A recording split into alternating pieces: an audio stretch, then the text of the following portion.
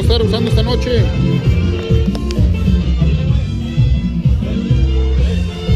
Los 15 años de Vanessa.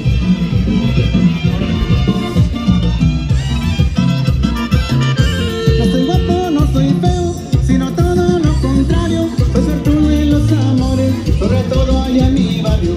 Ayer tarde me encontré una chica de 40 y le dije que sí cuando la llevaba